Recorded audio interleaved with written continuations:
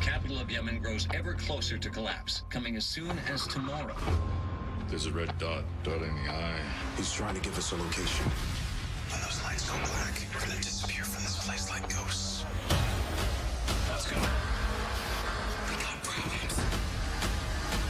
Getting over that wall is just the start.